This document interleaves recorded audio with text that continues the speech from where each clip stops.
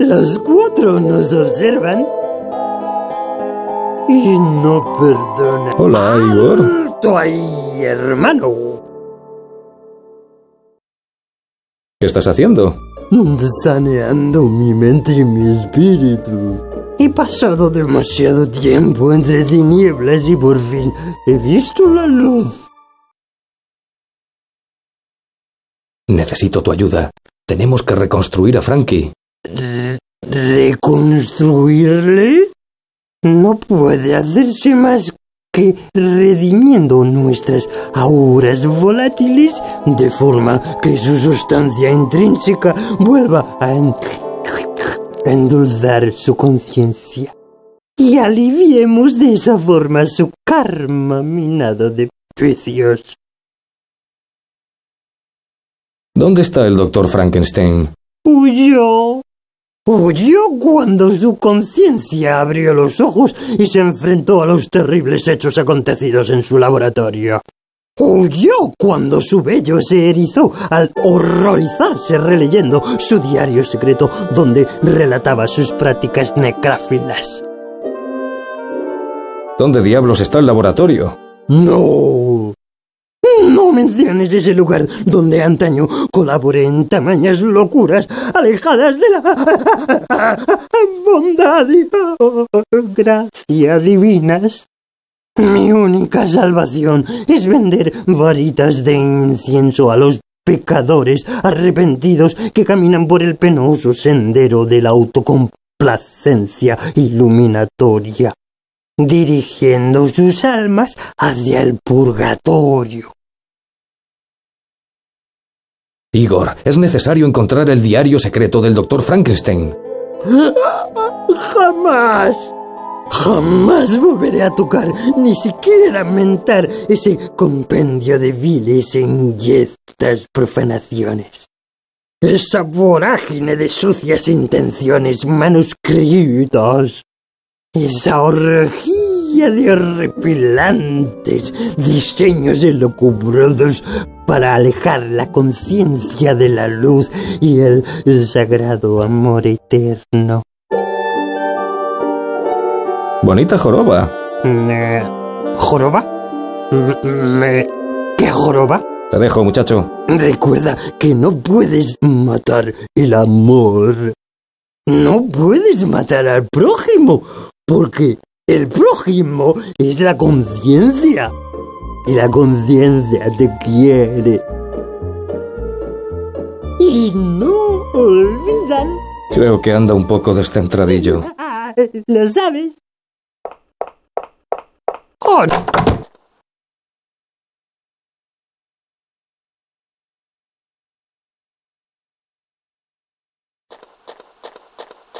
Veamos qué encuentro tras esos árboles.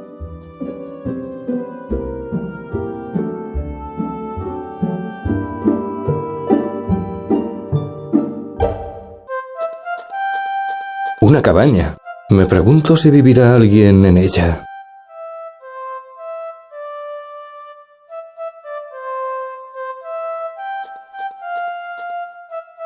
Demasiado goloso para dejarlo aquí.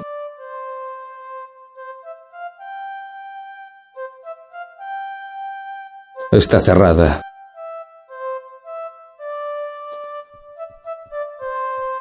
Parece que ese hombre de la flauta es ciego.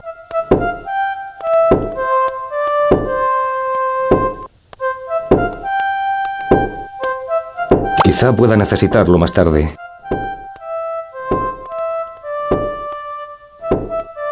Parece antiguo, no sé de qué tratará.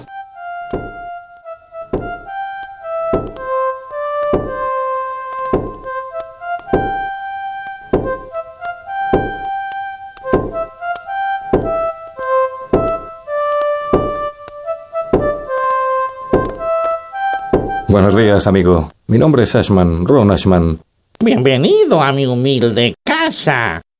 Soy un pobre y humilde viejo ciego, pero me encantaría disfrutar de su compañía un rato. Aunque como puede ver no tengo mucho que ofrecerle salvo mi música. Bonita cabaña. Muchas gracias. A pesar de mis limitaciones, intento tenerla lo más acogedora posible. Es muy pequeña, pero también tiene sus ventajas. No tardó mucho en limpiarla. La chimenea no necesita mucha leña. Y siempre tengo todo a mano. Estoy buscando al doctor Frankenstein. ¿No sabrá usted dónde encontrarle? Pues no, Víctor marchó hace años a otras tierras y desde entonces no he vuelto a saber nada de él. Me dejó confiado algo para que se lo entregara a su criatura cuando estuviese preparado. Pero creo que todavía no ha llegado el momento. ¿Y qué es lo que le confió? Su diario, algo en lo que Víctor trabajó durante muchos años. Lo tengo bien guardado en esta estantería de arriba, a salvo de manos ajenas. ¿Por qué no está preparado Frankie? Tiene que aprender mucho todavía de este mundo. Casi se puede decir que nació ayer. Yo creo que Frankie está preparado. Démelo a mí y yo se lo entregaré. Imposible. Di mi palabra, Víctor, de que su diario jamás sería tocado por otras manos que no fuesen las mías o las de su criatura. ¿Mm? Hablemos de otra cosa. De lo que quiera. A mí me gusta mucho la música. La música amansa a las fieras. Cuando estoy tocando, me siento en armonía con la naturaleza y me desconecto de todo. ¿Y no se cansa del mismo instrumento? Bueno, me gustaría tener toda una, una, una orquesta. Pero mis recursos son muy escasos y un pobre viejo humilde como yo no puede permitirse muchos caprichos. ¿Es la única canción que sabe tocar? Lo cierto es que, que, que sabía otra, pero de alguna forma la olvidé. Mm, cambiando de tema. ¿Sí? Igor, el sirviente de los Frankenstein, está un poco chiflado, ¿no? Solo un poco. Nunca ha sido un tipo muy cabal, pero últimamente se ha metido en una secta que le tiene totalmente fuera de control. A veces le oigo cantar y bailar de madrugada subido a los árboles. ¿Canta y baila de madrugada subido a los árboles? Sí, o al menos yo oigo su voz desde las alturas. ¿Quién sabe? Igual ha ideado una forma de volar y todo. ¿Y no hay forma de hacerle reaccionar? ¿A ese chiflado? Solo otro chiflado podría entenderse con él. Una secta. Eso parece. Le enseñan pequeños pasos de baile que repite durante horas mientras recita versos sobre el amor y la conciencia. Dejémoslo. Pensaba que esas cosas solo pasaban en la ciudad. Nadie está a salvo de esas amenazas. Hay que ser fuerte, amigo. Muy fuerte. Mm, Sobre esa varita de la pared. Es mi varita vidente. Me la regaló un vendedor ambulante que pasó por aquí hace años. Al parecer tiene la capacidad de encontrar oro. Pero francamente, nunca lo he conseguido hasta ahora. Gracias por su hospitalidad, amigo, pero tengo que dejarle. Vuelva cuando quiera. ha sido un placer.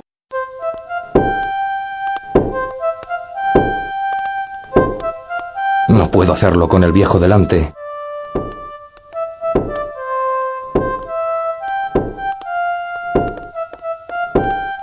Demasiado goloso para dejarlo aquí.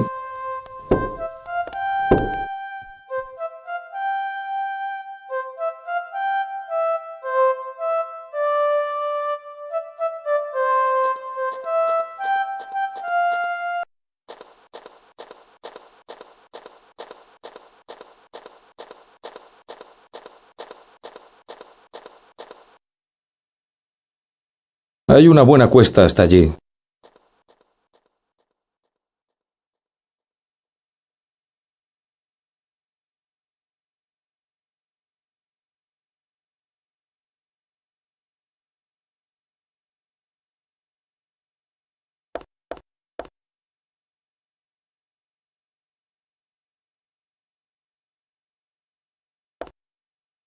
¿Puedo encontrarle alguna utilidad?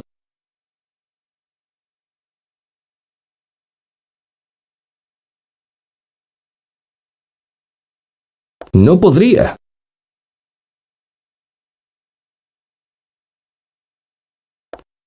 Mejor no, debe pesar un quintal.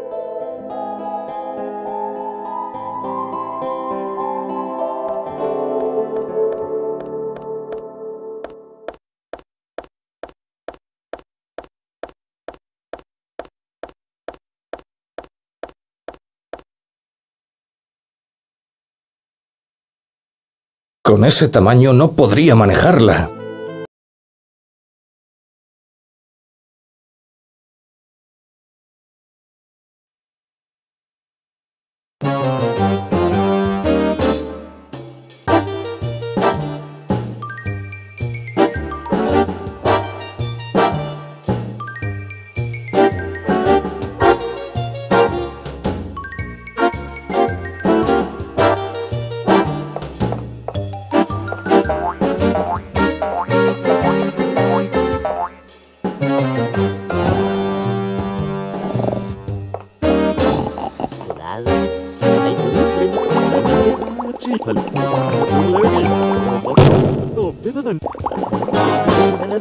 Oye, Junior, mira lo que tengo aquí para ti. Te cojo el revientacráneos, amigo, que no vas a poder con todo. Me encanta este tipo.